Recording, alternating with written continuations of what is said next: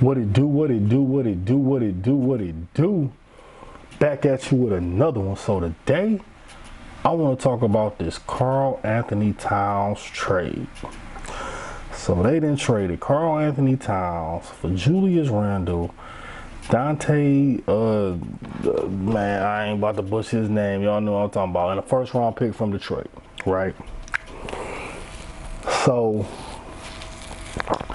apparently the reason why they traded Towns was based on like contract because with the new collective bargaining agreement, they wasn't gonna be able to afford him, Rudy, and Ant.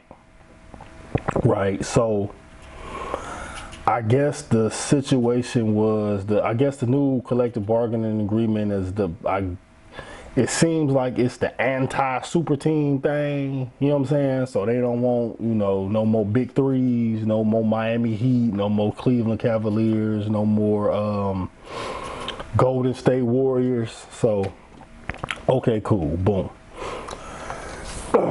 Now, the decision they had to make was between Rudy and Karl right? Karl or Town, Karl-Anthony Towns or Rudy Gobert.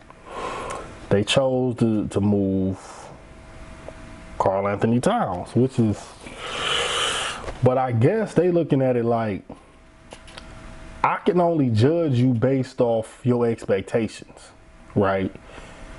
So if you look at Rudy Gobert's expectations, I mean, he played to the to his expectations. He you know what I'm saying? He rebound, he protect the rim, he do what you expect him to do.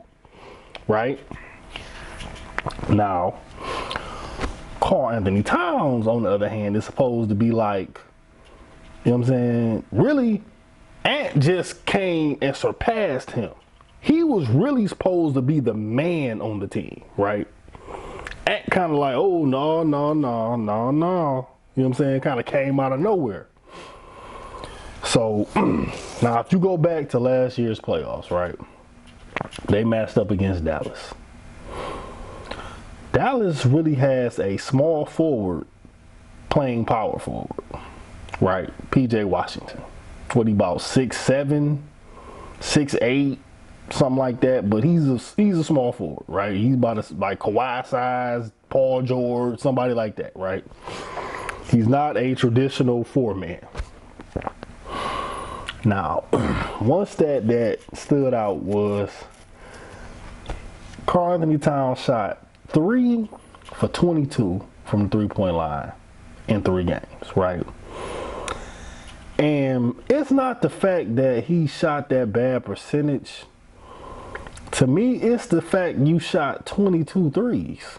Like, dude, get your big ass in the paint, bro. Why are you shooting threes when you have a mismatch? Like, like I know it's the three point shooting era and all that. It's you know, but sometimes you can be so smart, you're stupid, right? With all these analytics, sometimes you can overthink it. If I have a, a traditional four man, five man, you know what I'm saying? You're trying to put a three man on him.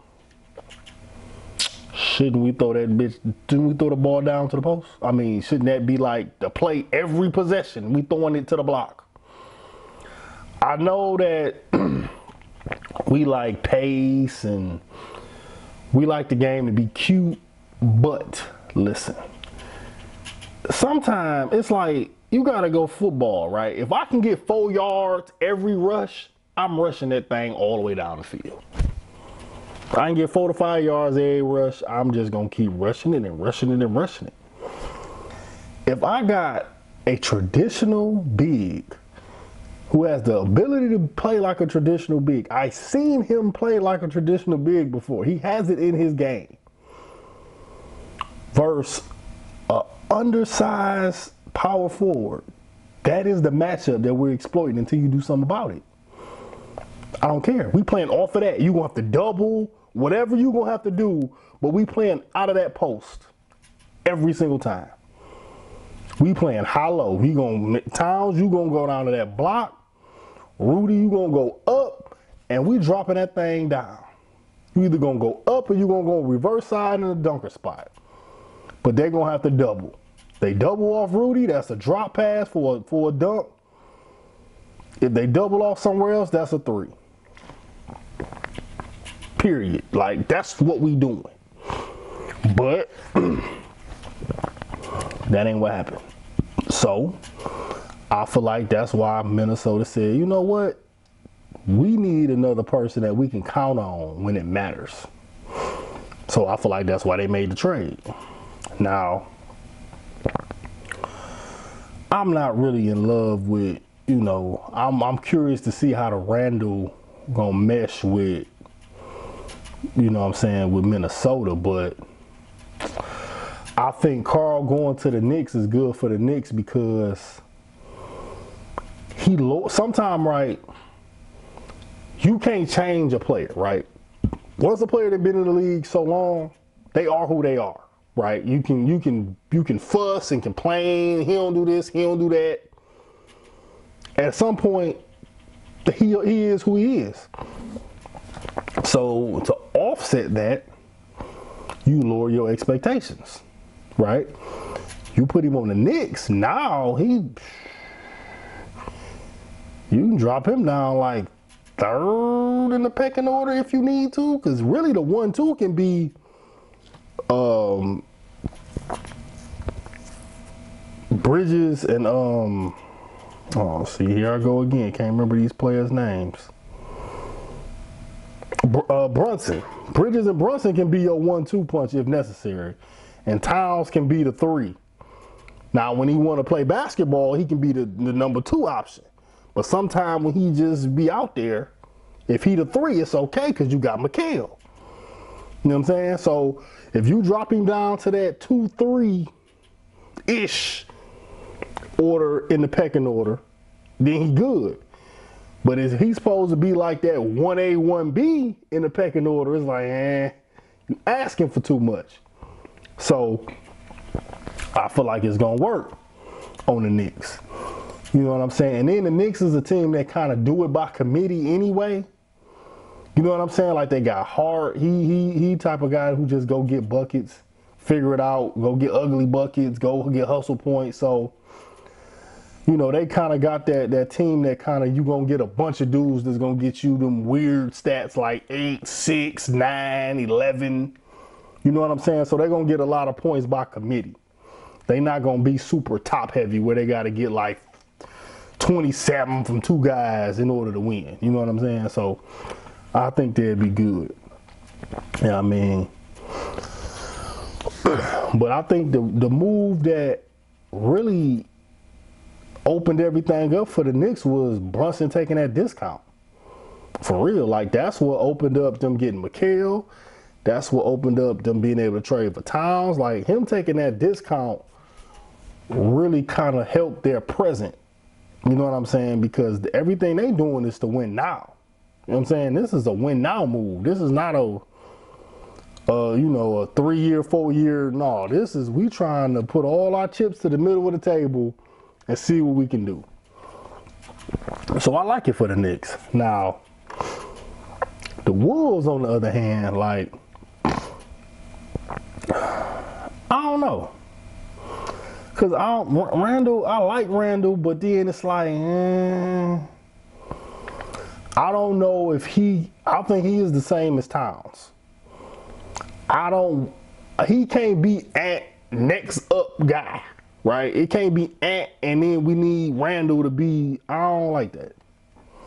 I think Randle is another like two, three ish guy. You know what I'm saying? Like he can be the second, third ish guy on your team if you trying to win the whole thing. Now I do feel like Naz Reid played so good is why they felt like Towns was expendable. You know what I'm saying? Like, oh, how he playing? Shoot, we just get Naz more minutes. You know what I'm saying? So I do like that with Naz. So if they got Naz and Randle, you still got Rudy. So I'm curious to see how they gonna how they gonna do the rotations. Is it gonna be Naz at the four, or is it gonna be Randle at the four? You know what I'm saying? Look, I'm I'm one of them dudes. I've been putting Naz at the at the four and Randle at the three, like with, with, and at the two. You feel me? Like I like big lineups. That's just me. I you know I I go seven foot, six ten, six nine. You know what I'm saying? Because and only six four for real. He just played like he's six six, six seven, but he really only six four. You know what I'm saying? I've been through Randle at the three. You know what I'm saying? Like he, he got the skill set. You know what I'm saying? Hey, I might I might even think about throwing Randle at the three sometime, even if it's just a lineup. You ain't gotta you ain't gotta start it, but I might do that as a lineup based on matchups. I might throw Randle at the three sometime. So I'm curious to see how they're gonna do that. Is they gonna make Randle come off the bench? Like I'm wondering how they're gonna do these lineups with uh with Minnesota. But I mean, I think overall the trade was good for both parties. I think they needed to, you know, they need to switch it up because I don't think Randle was gonna fit with the Knicks with the new with these new players they got. And I feel like Towns is a better spacer, like just spot up shooter to space the floor for Brunson. And him just standing out there shooting threes would be okay for the Knicks. If he on Minnesota, they need more for him, but that's cool if he on the Knicks. So I'm gonna leave it at that. Like, comment, subscribe. See y'all on the next one. Peace.